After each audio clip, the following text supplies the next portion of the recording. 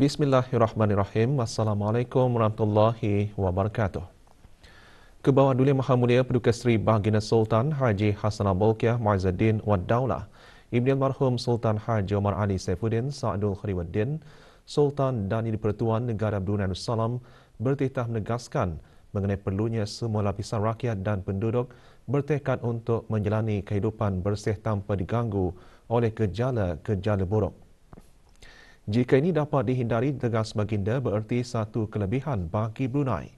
Dalam titah sempena menyambut tahun baru Masihi 2023 yang disiarkan ke seluruh negara, ke bawah dunia Maha Mulia juga menyentuh beberapa perkara. Antaranya hikmah COVID-19 yang tidak pernah terlintas di fikiran, usaha berterusan kerajaan untuk meminimalkan kesan kenaikan harga barangan serta kerjasama erat dengan negara-negara sahabat dalam menangani cabaran pasca COVID-19. Baginda memulakan titah dengan mengajak seluruh rakyat dan penduduk untuk sama-sama merafakkan syukur ke hadrat Allah Subhanahu Wa Taala di atas limpah rahmatnya yang mengizinkan dapat masuki tahun baru Masihi 2023. Mengimbas balik masa tiga tahun dalam menghadapi COVID-19, negara titah baginda telah melihat musibah ini walaupun membawa kesan sampingan kepada kehidupan, namun hikmahnya telah menciptakan peluang untuk negara berdikari memperkasa bidang-bidang utama seperti sekuriti makanan, perbekalan pendidikan, kewangan dan kesihatan. Inilah hikmah yang tidak pernah terlintas di fikiran kita. Dan malah banyak lagi untuk kelangsungan hidup, termasuk membanyakkan amal saleh, beribadat, berdoa, bersabar dan bertawakal kepada Allah.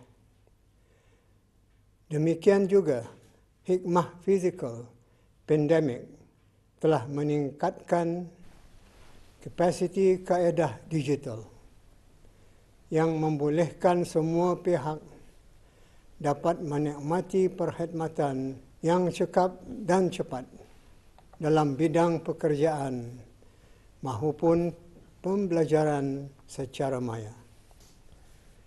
Akan lebih bermakna lagi jika pengalaman ini dapat menyuntik semangat rajin berusaha untuk mempelbagaikan ekonomi negara serta berganding bahu mewujudkan peluang pekerjaan bagi anak-anak tempatan.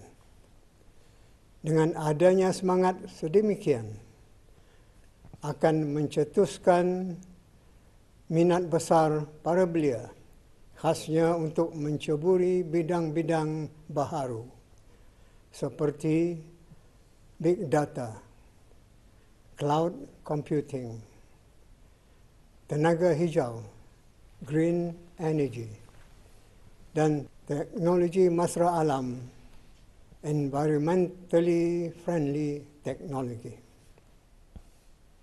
Ke bawah Dulia Maha Mulia seterusnya bertitah kerana mencapai tiga matlamat utama Wasan Brunei 2035.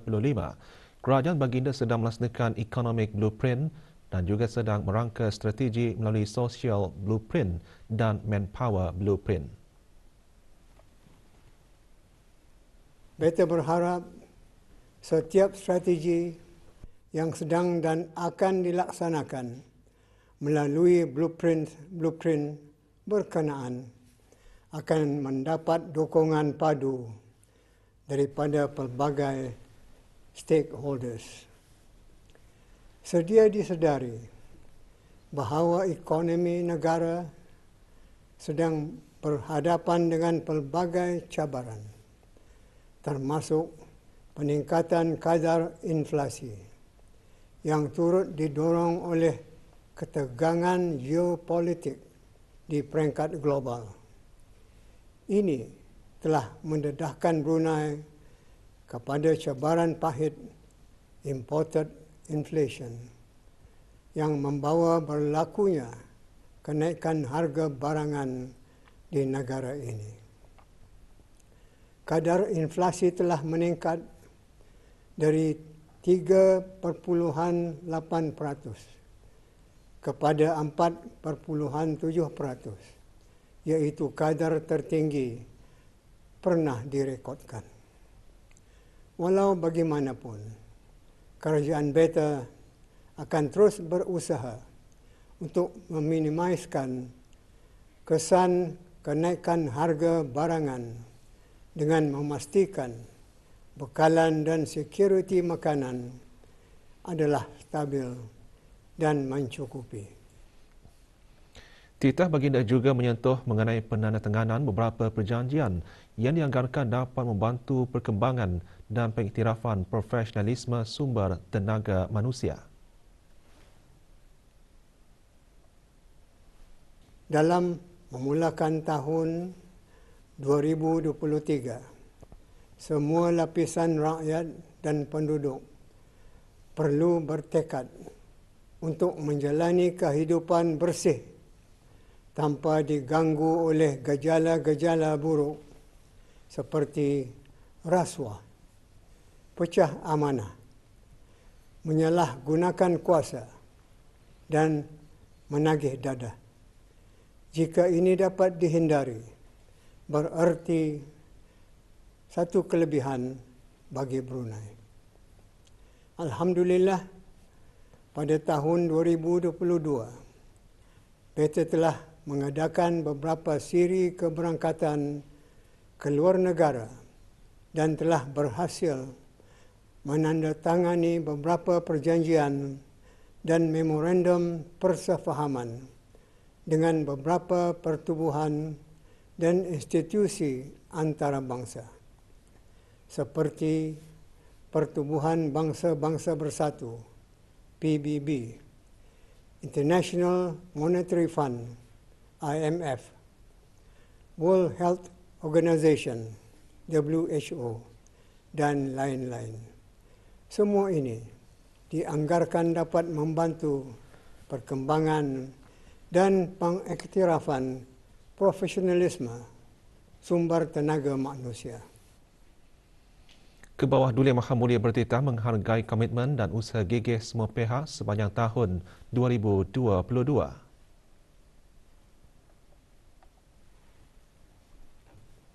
Akhirnya, beta ingin merakamkan setinggi-tinggi penghargaan dan terima kasih kepada semua perangkat warga perkhidmatan awam, Angkatan Bersenjata di Raja Brunei, pasukan polis di Raja Brunei, pasukan-pasukan beruniform yang lain, para barisan hadapan, frontliners dan sukarelawan, termasuk mereka yang berkhidmat di sektor swasta dan badan-badan bukan kerajaan NGOs di atas komitmen dan usaha gigih mereka melaksanakan tugas dan tanggungjawab masing-masing sepanjang tahun 2022.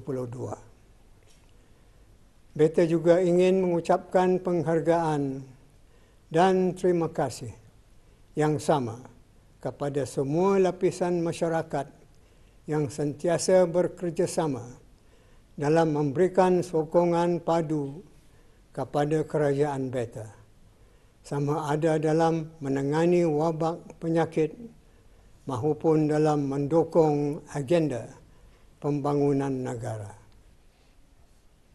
Ke bawah Dunia Maha Mulia juga bertitah negara akan terus mengiratkan hubungan serta kerjasama dengan negara-negara sahabat.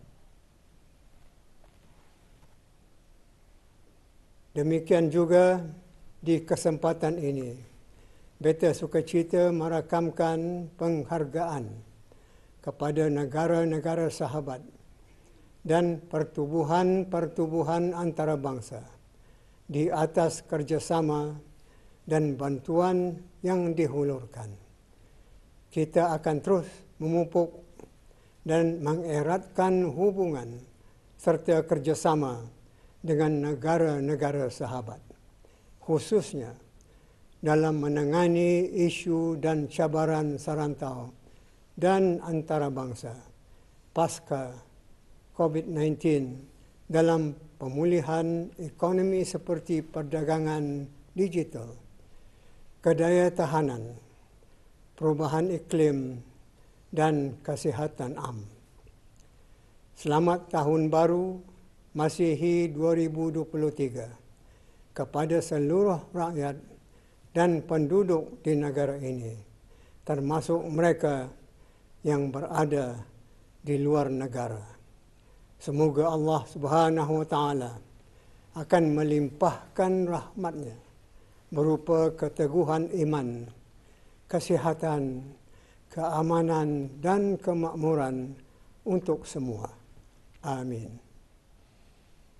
Ke bawah Duli Maha Mulia Paduka Seri Baginda Sultan Haji Hassan Al-Bolkiah Muazzaddin Wad Daulah, Ibn Marhum Sultan Haji Omar Ali Saifuddin Sa'adul Khariwaddin, Sultan dan Pertuan Negara Brunei Darussalam telah berkenan menghantar titah pertusan tahniah kepada Tuan Yang Terutama Dr. Sonse Sifanon berikutan dengan pelantikannya sebagai Perdana Menteri Republik Demokratik Rakyat Lao yang baharu.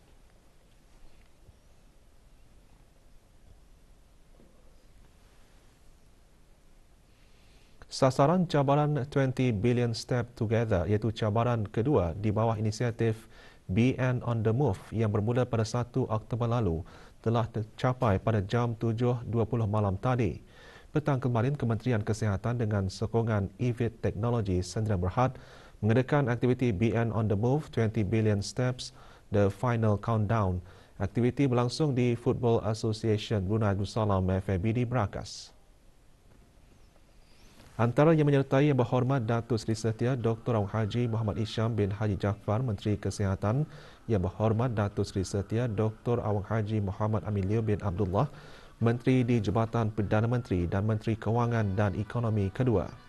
Yang berhormat Datuk Seri Setia Awang Haji Muhammad Juanda bin Haji Abdul Rashid, Menteri Pembangunan. Dan yang berhormat Pengiran Datuk Seri Setia Syamhari bin Pengiran Datuk Peduka Haji Mustafa, Menteri Pengangkutan dan Info Komunikasi. Aktiviti berjalan pantas meliputi sejauh 3 km dan 5.5 km mengelilingi Taman Riadah Jalan Pusat Persidangan.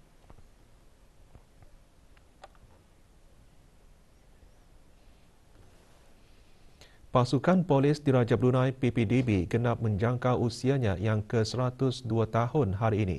Bersempena dengan ulang tahun tersebut, PPDB mengadakan majlis membaca surah Yasin, tahlil dan doa kesyukuran di Surau Ibu Pejabat Pasukan Polis Diraja Brunei Gadong. Antara yang hadir Datuk Peduka Seri Haji Awang Muhammad Irwan bin Haji Hambali, Pesuruh Jaya PPDB, Majlis adalah bagi memohon keberkatan agar warga pasukan akan sentiasa dikurniakan kesihatan dan kesejahteraan dalam melaksanakan tugasan mencegah dan membentras jenayah dihindari dari segala kesukaran dan kecelakaan dalam menjalankan tugasan harian.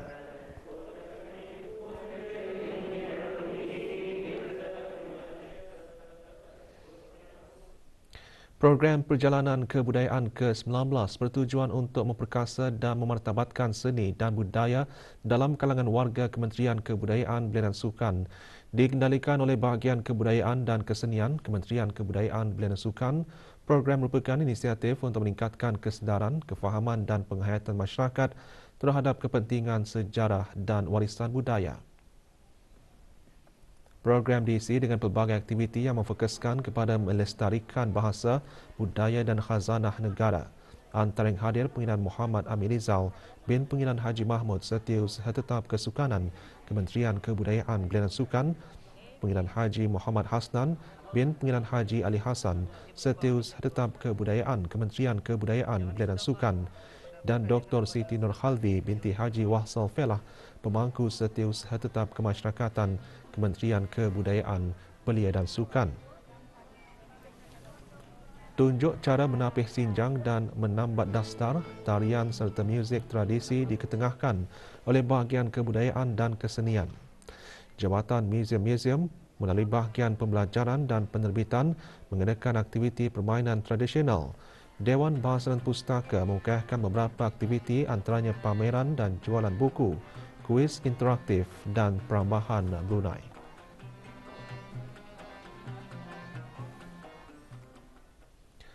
Menderma darah merupakan satu amalan mulia di sisi Islam kerana ia boleh membantu mereka yang memerlukan seperti penghidap penyakit kronik. Selain ibadah khas seperti solat dan puasa, menderma darah juga merupakan sebahagian ibadah kerana menjadi intipati seruan dalam Islam. Haji Azizi Ahmad membawakan laporannya.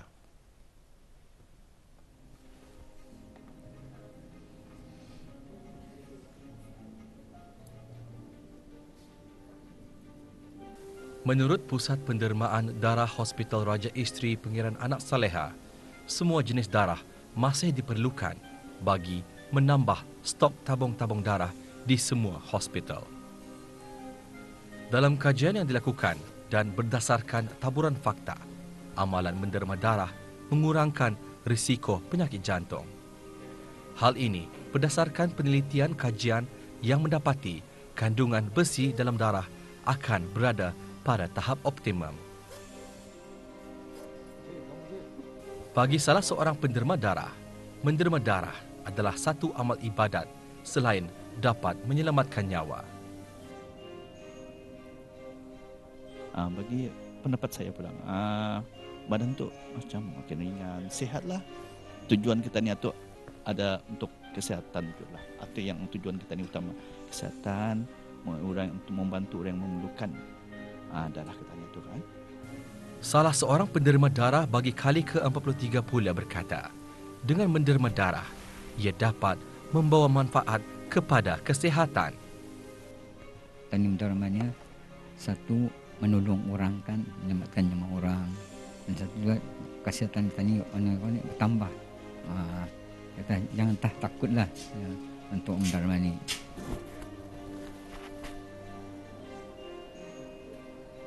Dengan menderma darah, kita bukan sahaja dapat menyelamatkan nyawa orang lain, bahkan ia mendatangkan manfaat dalam menjaga kesihatan diri. Justru, marilah kita bersama-sama membantu menambah tabung simpanan darah bagi membantu pesakit yang memerlukan dengan menderma darah. Haji Aziz Ahmad melaporkan untuk Berita RTB. Seni kaligrafi Islam atau lebih sinonim dengan nama seni khat memiliki peranan yang penting dalam agama Islam. Mempunyai nilai estetik dan artistik, kaligrafi Islam turut berperanan sebagai medium penyebaran dakwah. Bagi memastikannya terus berkembang, generasi muda perlu diberikan pendedahan yang meluas mengenai seni kaligrafi Islam. Maziah Jini seterusnya melaporkan. Awang Hamdi bin Emran penolong pegawai Pusat Pengajian Kesenian dan Kaligrafi Islam Yayasan Sultan Haji Hassanal Bolkiah PPKKI YSHHB merupakan antara belia yang memartabatkan seni kaligrafi Islam sebagai khazanah negara yang agung. Kebimbangan terhadap seni kaligrafi Islam yang terukir di dinding-dinding masjid mempunyai kesilapan, Awang Hamdi bertekad untuk mempelajari dan menghalusi lagi kemahiran seni hat beliau. Uh, ada satu hari jadi saya solat di masjid yang sama dan saya lihat balik uh, di, di dinding-dinding masjid tersebut. Jadi rupanya bila diamati uh, khat-khat tersebut banyak kekurangan dari segi kaedah, huruf dan penyusunan barisnya. Jadi uh, sejak itu saya bertekad untuk mendalami dan belajar lagi tentang kesenian khat ini untuk ber, berkongsi dengan orang kita ini apa itu keindahan seni khat ini. Menghasilkan seni kaligrafi Islam dapat melatih kesabaran serta menunjukkan ketelitian penulisnya. Seni kaligrafi Islam yang indah mampu membuat orang yang melihatnya merasa takjub dan menambah rasa cinta terhadap ayat Quran. Laporan Mazia Jini untuk berita RTB.